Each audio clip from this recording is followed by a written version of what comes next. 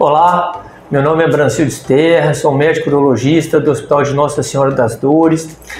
e eu vim aqui para poder é, falar um pouco da folha de Ponte Nova, da importância da folha de Ponte Nova na nossa região. Eu lido diariamente com pacientes oncológicos, então pacientes em tratamento de câncer, e eu sei da importância da informação desse tipo de doença.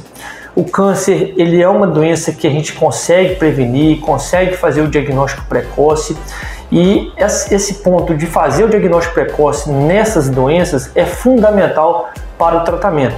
Quando a gente se depara com um paciente oncológico, com um paciente já com câncer avançado, infelizmente a gente já não tem muito recurso para poder curar esse paciente. Então é muito importante a gente fazer o diagnóstico dessas doenças em suas fases iniciais e aí entra a importância da mídia de uma forma geral, da orientação, da informação, então desse papel social que a Folha de Ponte Nova cumpre muito bem em nossa região. É, hoje a gente sabe da importância das mídias no tratamento, né, no diagnóstico dessas doenças, né, da questão da informação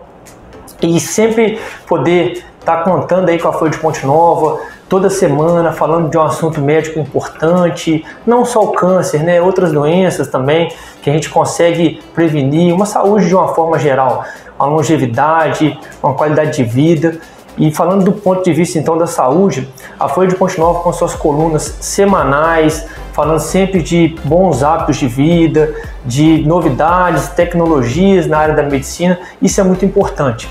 A gente que trata os pacientes oncológicos diariamente, a gente vê que a maioria dos pacientes que chegam para a gente com o diagnóstico já em fases avançadas, infelizmente é por conta da falta de informação, do acesso à saúde, mas também da falta de informação. Então, esse papel social que a Folha de Ponte Nova cumpre em nossa região, isso é muito importante e impacta bastante a saúde pública na nossa região.